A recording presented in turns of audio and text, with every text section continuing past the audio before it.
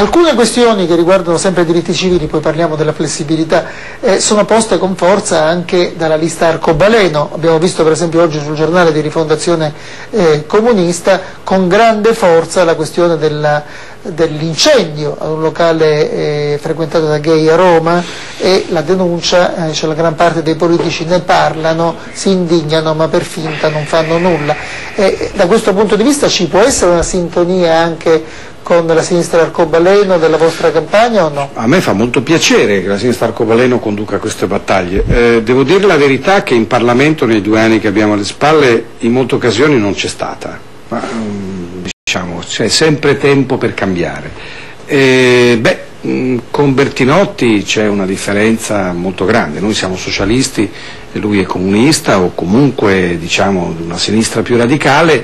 A proposito, eh, ma questo significa... loro, la sinistra arcobalena ha fatto una lettera ai giornali, e questo è anche questo è un fatto politico, in cui si dice eh, non ci chiamate sinistra radicale, smettete di chiamarci sinistra radicale, noi ci chiamiamo sinistra arcobaleno. Questo va nel beh, senso loro sono, di... Beh, loro sono fortunati perché a noi socialisti ci capita che non ci chiamano, nel senso che eh, proprio sulla RAI, lo dico con affetto, perché credo nel servizio pubblico, abbiamo contestato trasmissioni come Ballarò Anno Zero che hanno semplicemente cancellato i socialisti dai sondaggi. Ma... Noi daremo, se lo ritiene, un paio di vostre mitiche in diretta, questo è un impegno che possiamo prendere. No, grazie, è un impegno dovuto perché vogliamo essere... La cosa importante pubblico. è che siano gli elettori a scegliere sulla non vita dei partiti, non, non, i direttori di giornali, i conduttori televisivi, questa è una regola fondamentale della democrazia, se non ci si è è difficile che gli elettori possano decidere. Diceva la flessibilità.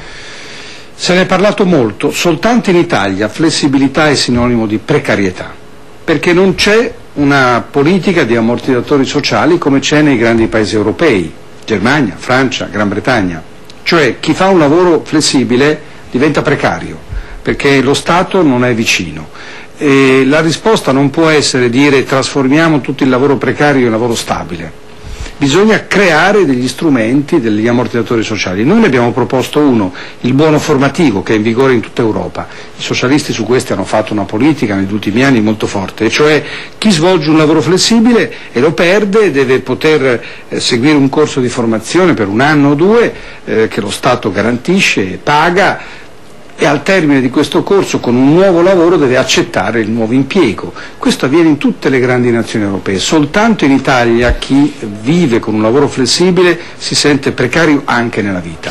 È una grande frontiera, io penso che una forza riformista, uno schieramento riformista deve affrontare questi temi. A proposito del precariato, eh, Veltroni ha, ha, detto che ogni lavoratore precario dovrebbe avere 1000-1100 euro al mese, Berlusconi ha detto che questa proposta è folle perché se si va eh, ad un salario minimo di questo genere aumenterà il lavoro in nero e, e, saranno ancora di meno gli imprenditori che assumano. La posizione dei socialisti su questo? Qual Io penso che il problema sia quello di garantire a chi perde il lavoro, giovane, e lo svolge flessibile, cioè fuori dai contratti, ma anche probabilmente ai lavoratori della mia età, 50 anni, è difficile per una 50 anni trovare un nuovo impiego, eh, lo Stato non può proporre semplicemente uno stipendio, deve proporre un bonus formativo. Perdi il lavoro, ti formiamo per un altro impiego e nel corso dei, dei 12 o dei 24 mesi eh, ti garantiamo di poter vivere e alla fine questa è la strada giusta. In generale poi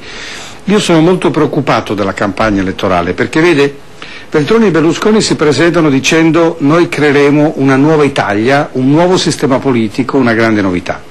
Per farlo dovrebbero dare l'esempio e cioè se si presentano in campagna elettorale dicendo eh, eh, nuove spese pubbliche, nuovi interventi pubblici, devono anche dire, come accade in tutto il mondo, da dove i soldi si prendono. Non si può dire agli italiani soltanto questa è la tabella delle uscite, bisogna anche mettere la tabella delle entrate. Se vogliono dare un contributo per una campagna elettorale non fatta solo di propaganda, devono presentarsi così. La cosiddetta antipolitica. Ieri Fiorello ha, ha detto, è nata una polemica, eh, se eh, eh, i politici non fanno qualcosa di concreto per rimuovere quella vergogna che è Napoli, eh, non eh, votiamo, bruciate le schede. Beh, io eviterei di aggiungere roghi a roghi, perché diciamo dei rifiuti a Napoli ce ne sono tanti. Però quello che è accaduto in questi mesi è drammatico. L'immagine, la realtà de, della campagna di Napoli. Io vedo due responsabilità. Certamente Bassolino e Iervolino, cioè chi ha governato eh, città e regione.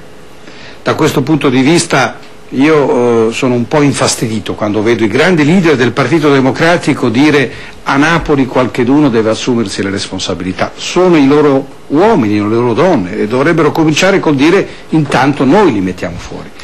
Ma c'è una certa responsabilità anche nazionale perché vede, se per 13 anni i governi decidono che per affrontare il problema dei rifiuti a Napoli bisogna nominare un commissario straordinario, eh beh, è un modo per togliersi dalle responsabilità, togliere dalle responsabilità i sindaci ma anche il governo nazionale.